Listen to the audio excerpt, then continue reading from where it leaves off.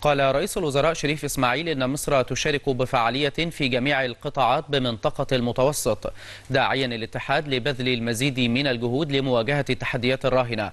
وكشف رئيس الوزراء في كلمته بمؤتمر الاتحاد من أجل المتوسط للنقل البحري في محافظة الإسماعيلية عن أن الاتحاد من أجل المتوسط حقق العديد من الإنجازات على صعيد البرامج والمشروعات التنموية ذات البعد الإقليمي.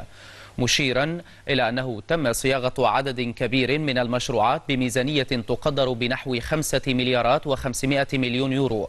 وما زالت هناك العديد من الفرص الضخمة للتعاون بين دول الاتحاد.